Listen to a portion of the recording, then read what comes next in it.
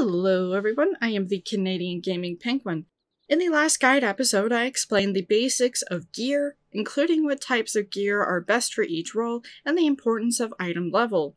I also gave tips and explained what to expect in the first three dungeons. In today's guide episode, I will be talking about the different types of roulettes that will become available as you progress in the game. I will also be explaining why they are useful to do each day. Before I get into duty roulettes, however, I will first be talking about guild guildhests and leve quests. Let's get started. So, just what are guild guildhests? Well, guild guildhests are instanced duties that require a party to complete special tasks within a certain period of time.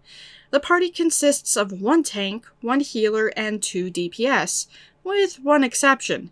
The last guildhest requires a party of eight people. Each guildhest is different and in some ways first introduces you to working with other players in a party system, assuming you do this before dungeons. If you're like me and forgot about them, then you might not be trying them until after you've tried dungeons. I didn't actually try my first guildhest until I was well into the game. I uh, also haven't done all of them on my main character yet. Anyways, a guildhests ha will have tasks that can be seen in the duty information.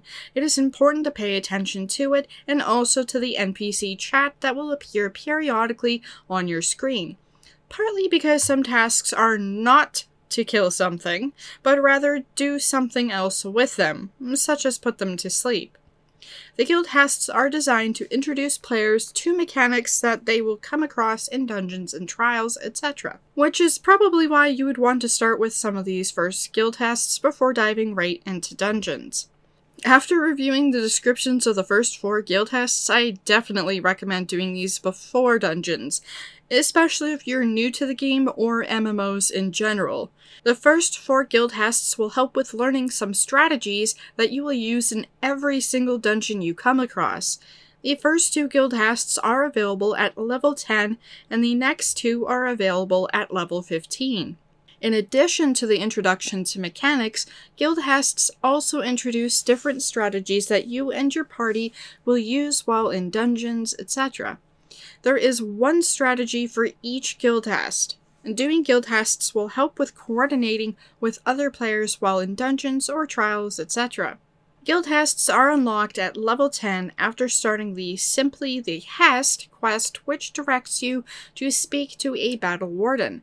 The small towns in each of the starting areas will have this quest and will have their designated location in the quest name, such as Simply the Hest, Ul'dah. The guildhests range from level 10 to level 40, with two guildhests unlocking every 5 levels. There are a total of 14 guild Hests. guildhests. Guildhests must be done in order. This is similar to the Hall of Novice lessons. Guildhests reward experience and gil, and will also receive a bonus when you complete a guildhest with a class or job for the first time. There is a further bonus to you and your party for completing the guildhest without anyone KOing, assuming no one KO'd. That is, no one died. There is also a roulette for guildhests, which I will talk about in a little while. On to leve quests. There are three different types of leve quests Battlecraft leves, Fieldcraft leves, and Tradecraft leves. The Battlecraft leves are the combat-focused leves. The Fieldcraft leves are for gathering, and the Tradecraft leves are for crafting. Leve quests can be obtained by speaking with a Levemete NPC found in various locations throughout the game. To include the leve quests, players will first need to complete a main scenario quest. The main scenario quest will depend on your starting city. Additionally, there will be a quest in each of the different areas that works as a trial, lore-wise, to be able to unlock the leve quests of that area. If you started in Ul'dah, the main scenario quest is titled Way Down in the Hole. The first trial leve quest you will have is titled Leves of Horizon. If you started in Gridania, the main scenario quest is titled Spirithold Broken, and the first trial leve quest you will have is titled Leves of Bent Branch. If you started in Limsa Lominsa, the main scenario quest is titled Just Desserts. No, not just desserts, just deserts. Not missing an S there. The first trial leve quest you will have is titled Leves of Swiftperch. The main scenario quests require a level 9 Disciple of War or Disciple of Magic class or job. The first Leves of Location requests require a level 10 Disciple of War or Disciple of Magic class or job. Note that the trial leve quests for each of these areas is available regardless of which city you started in. Thus, once you have made your way to each of these different locations, you will be able to unlock the leve quests for those areas after completing the trial quest. After you have completed a trial leve quest, you will then gain access to the battlecraft leves, the fieldcraft leves, and the tradecraft leves of that area. Fieldcraft and Tradecraft leves will not be visible if you have not yet acquired a gathering or crafting job respectively. That is, there will be nothing listed. Now that we know how leve quests are unlocked, how are the quests completed? Unlike other quests, these leve quests are different in that they are time restricted. Since they are timed, we are required to begin the process ourselves by initiating the start of the quest.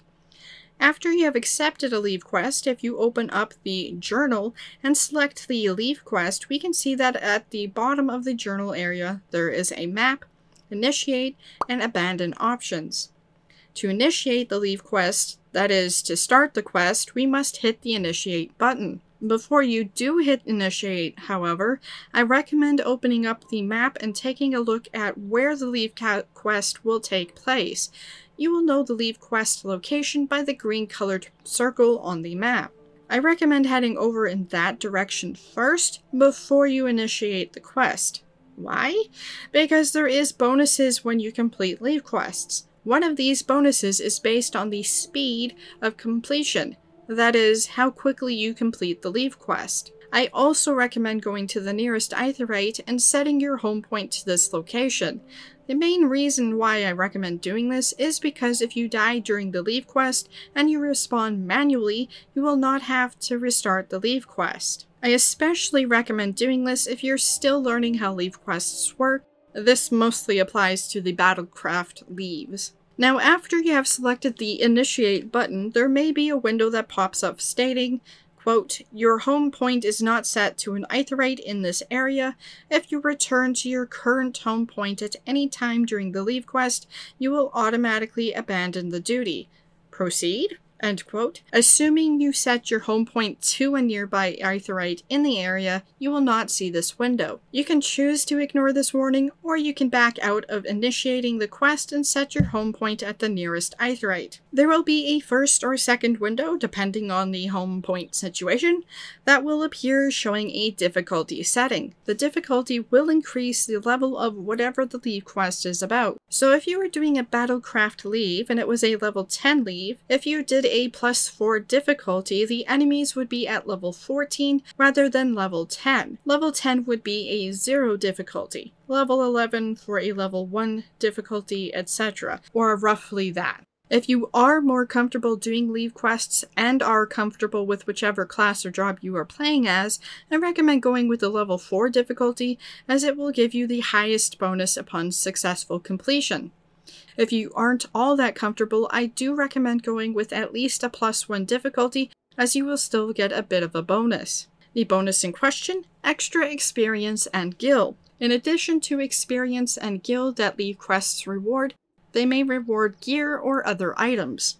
Now, to elaborate more on what each of these different types of leve quests are, we'll begin with the Battlecraft leves. Battlecraft leves have much more variety to the different tasks that are required for their completion. Some require you to use actions such as soothe or beckon, while others require you to kill certain enemies, etc. I think the easiest way to demonstrate how battle how a battlecraft leves works is by showing you. Conveniently, I hadn't done the trial version of the quests for leave meets here, so this is the leves of Little Ala Mhigo, and you can see it's required level 25. Esmond, the local leve quest representative in Little Ala Mhigo, is seeking an adventurer to undertake guildleves. Greetings and welcome to Little Ala Mhigo. My name is Esmond and I represent the Adventurers Guild. So after they introduce themselves, they will basically tell you that they have a test for you, and you can see this is the test that they have for you, and you can read the description of the leve quest itself, and this particular uh, leve quest rewards uh, this amount of experience, gil, and a venture which is used with retainers, which I haven't talked about yet, and I will do so in a future video. And you can see we need to report to the Southern Fenland, the time limit, etc., the location, and the client, blah blah blah. So we have the accept or decline. We're of course going to accept it. And then be warned that the voidsent will tear, blah blah blah. And then that's regarding the uh, particular leve quest itself. And as you can see up here on the mini map, we have that green circle. As mentioned, we have that there as well. And so we're going to jump up onto my mount. So as you can see, I moved over here and I do that because I prefer to be in the general area of the leve quest. And you can see this is a different symbol that is the unlocking the leve quests itself, which is also why it's the purple. And then that's my main scenario quest I'm currently working on. Anyway, so we can see down here at the bottom here, we have map, initiate, and abandon. Well, technically we can't abandon this one because it is a trial one. If we abandoned this quest, which we obviously can't, uh, that is when this would be abandoned as well. So we can't actually abandon this, so there's no reason to not do this. So anyway, we have the initiate, and as I mentioned, you see the your home point is not set to blah blah blah. I can ignore that. Recommend level 4, and as it notes also, changing classes during the course of this duty or using a class above the recommended level may reduce the amount of experience awarded upon completion. Well, unfortunately, I don't have any classes that are actually in the range of level 25, so it doesn't really matter what class I use, so I'm just going to stick with my ninja here, who is currently at level 40, which is one of the lower levels right now. Um, anyway, so we're going to confirm that. You'll see the discrepancy, blah, blah, blah, blah. Well, that's because I have such a much higher level. Anyway, so in our duty information, we have gather all missing pages of the Necrologus, Necrologos, whatever, and defeat the creature summoned from within it. So we can see we need soiled Necrologus' pages. Can I mess up that word anymore? Soiled Necrologus page. And you can see we have this person here, Corpse Brigade Pike Dancer, and the little symbol above his head. Well, that tells us that this is a leve quest bad guy enemy that we need to defeat. And so we're going to go ahead and do that. And it shouldn't take me too long because I am a level 25. You will also see throughout the map here, if we open up this, we have a bunch of little circles. That tells me that the various Leve Quest uh, enemies, or whatever it is that we're doing in our Leve Quest, are located in those places. You also want to visit uh, the other ones occasionally, because you may also find a treasure chest and you will have to loot that before you finish the Leve Quest, otherwise you will not be able to obtain whatever it is. So as you can see, we have a treasure coffer right here. Uh, that's what I meant by treasure chest. And we received a potion of intelligence, which we can also see in our chat here. And we'll see that in our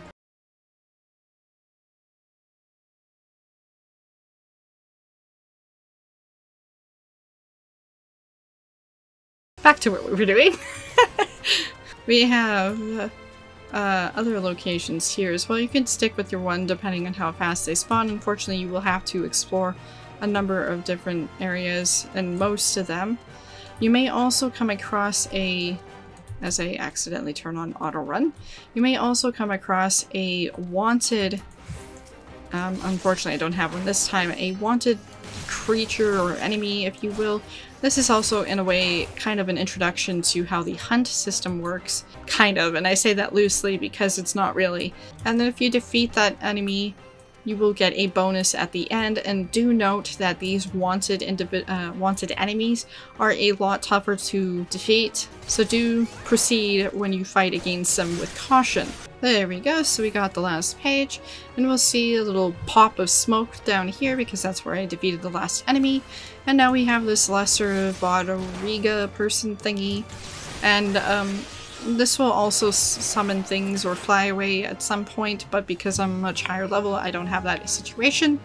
And then as you can see, it's returned to levemete at Little Ala-Mhigo. So if you have multiple leves at once, I usually hit no, complete the ones in those areas before I hit yes, or I hit yes right away and just teleport right back. But since we don't have multiple ones, obviously I want to hit the yes button.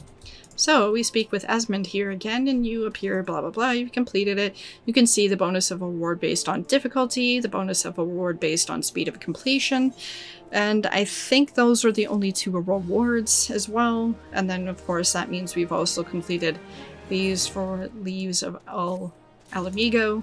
Those two quests were joined together there. And so now we have Little Ala-Mhigo leves unlocked. And now you can see we have all these different leves here as well. And if you're ever not sure if you've done one before, there'll be a little check mark if you have done one. And as you can see, this one here also gives a Velveteen rope belt as a reward. So if you happen to be talking to a levemete uh, NPC, you'll see there's the battlecraft, fieldcraft, tradecraft, etc. There's also the information on leves, which basically explains everything that's also that I kind of explained already. But there is also leve linking, so when multi multiple party members are all possess the same battlecraft leve, they will have the opportunity to perform what is called a leve link. This will assure that due credit is given for the completion of the task and prevent the need for repeating the same leve quest twice. You can also see the wanted as well. On rare occasions while undertaking Battlecraft leve quests, you will come across creatures with bounties on their heads. While you need not engage them to complete your leve quest objectives, slaying the wanted targets will earn you the prize of their bounty. And then there's the treasure coffers as well. You happen to discover a treasure coffer while in a leve quest, you are entitled to the contents within as are your party members. All party members should check the coffer individually as not to miss out on their share of the loot. Moving on now to a fieldcraft leve. Like with Battlecraft Leves, I will demonstrate how one works. And here I am in Central Shroud talking to Tierney here for some Fieldcraft Leves. We see here we have a couple of them. We'll go ahead and go with the first one here. And I've accepted that, and if we look like with the Battlecraft Leves, we will see we have the green area over here, so I'm going to hop up onto my mountain and head over in that direction.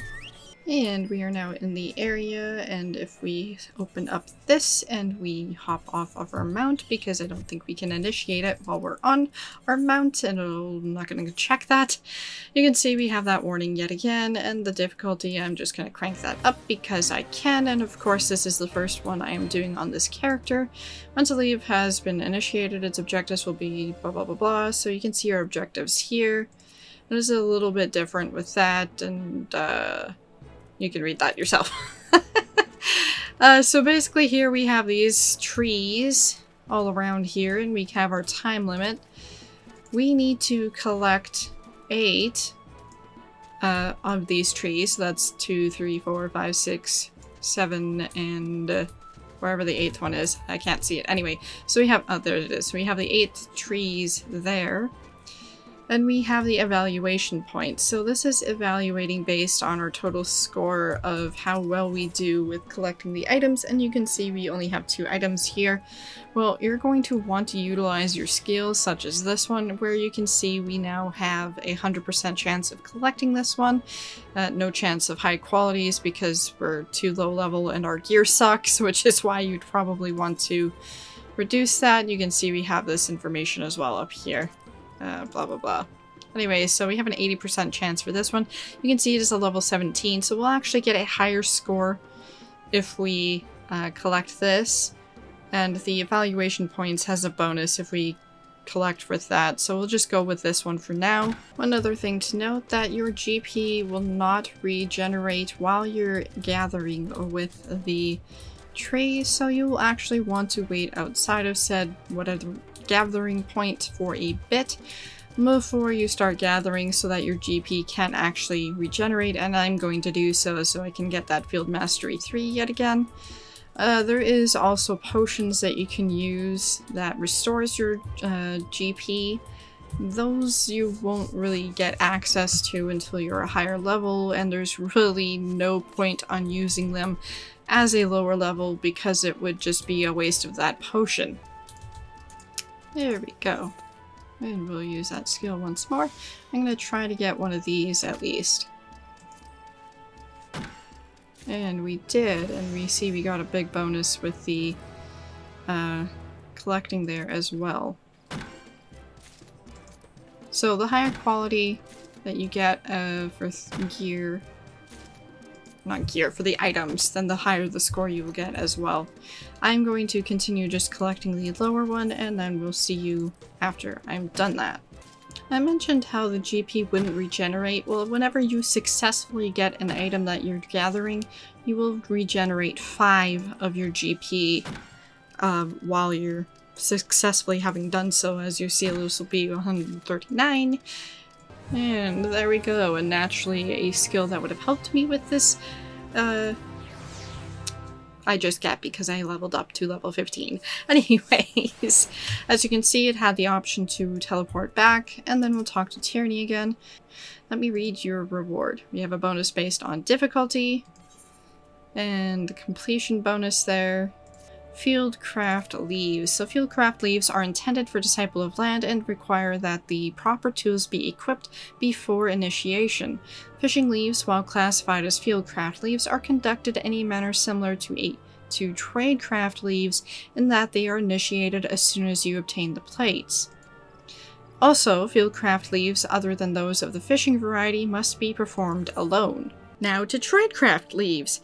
These ones can take longer as you will need to acquire the materials to craft by either gathering the items yourself or by purchasing the items via the market board or from a NPC if those are available to sell said item and then turning the crafted item in. You can also buy the crafted item required for a leve quest from the market board and skipping the whole crafting process altogether it can be very costly if you do it that way. As with the other two leves, I will demonstrate how the tradecraft leves work by actually doing one. And here I am in Ul'dah for the tradecraft leves. As you can see, there's a little dialogue, blah blah blah, tradecraft leves, yada yada yitter.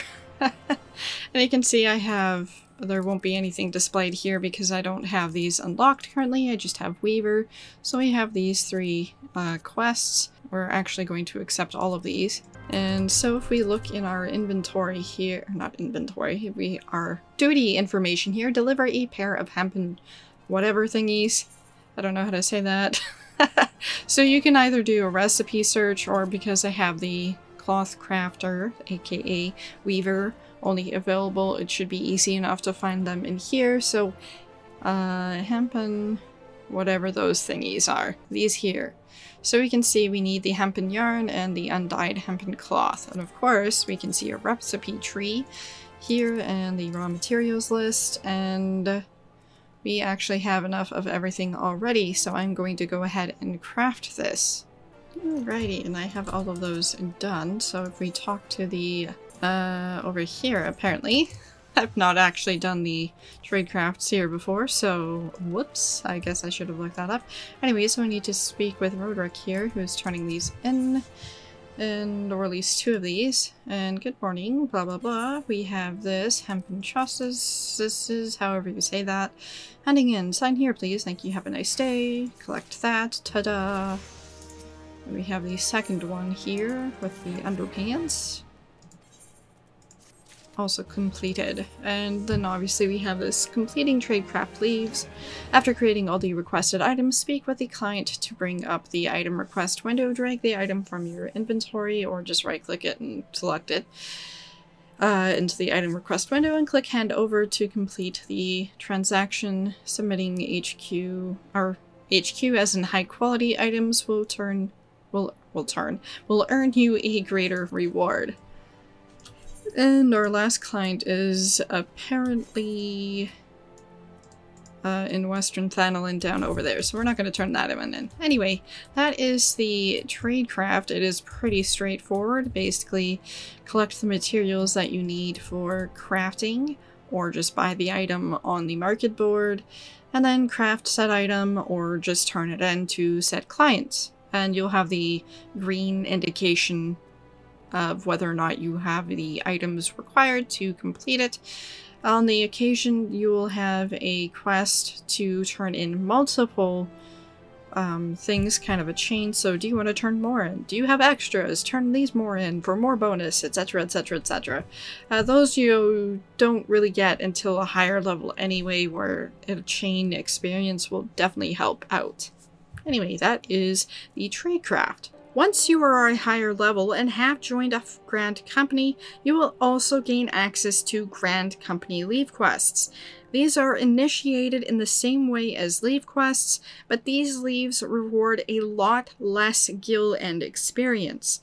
The primary reason to do Grand Company leves is for the Grand Company seals that you will receive. Now that we've covered guild hests and leve quests, I'm going to move on to talk about duty roulettes. Firstly, what is a duty roulette? A duty roulette is basically a roulette for certain duties. Yeah, I know, real descriptive. Say, for example, you have completed both Sastasha and the Tamtara Deepcroft dungeons. Once you have completed the Tamtara Deepcroft, you will gain access to the Duty Roulette leveling, or leveling roulette as I prefer to call it. If you queue for a leveling roulette, it will choose between those two dungeons, as those are two dungeons that are part of the leveling roulette and are dungeons that you have unlocked. As you unlock more dungeons, they will be also included in the leveling roulette.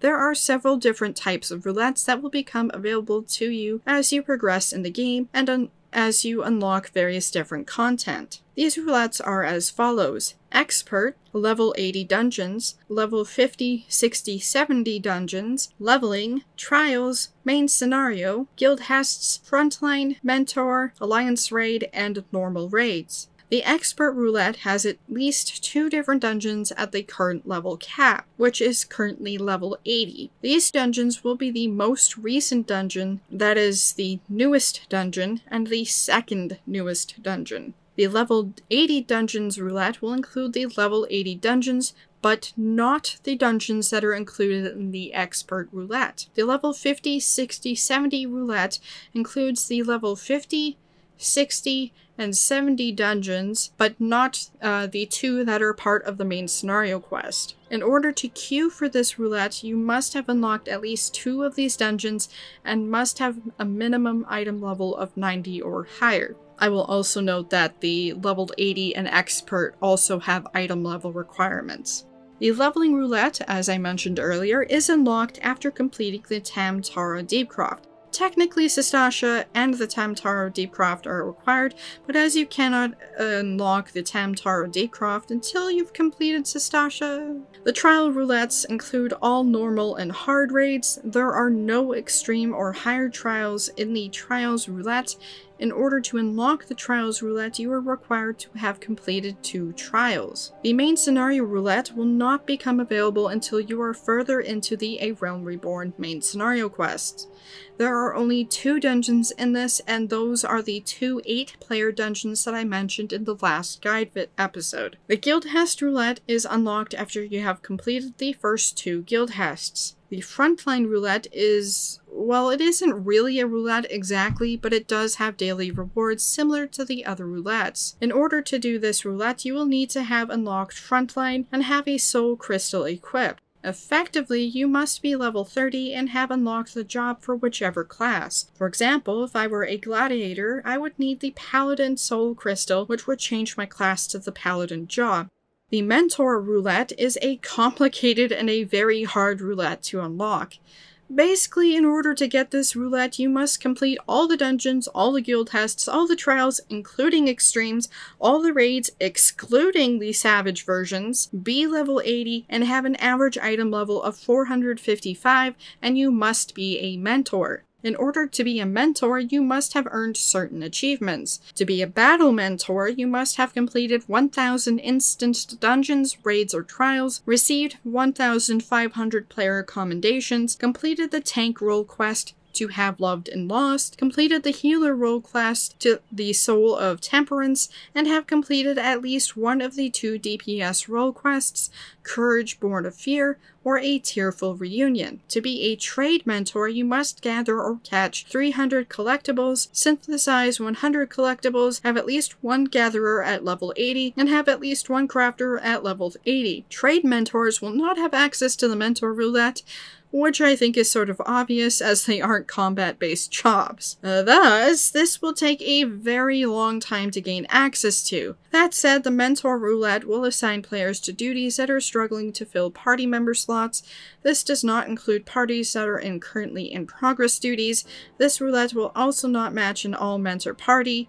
There are also achievements for completing this roulette, and also rewards as a result. The Mentor Roulette is mostly for those players who are actually willing to teach newer players or other players how to or the mechanics or even help them with their jobs, etc., while doing various content in the game, hence the mentor status. Your experience may vary when you come across mentor players. Anyway, back to the different roulettes. Alliance Raid Roulette will be available once you have completed two Alliance Raids.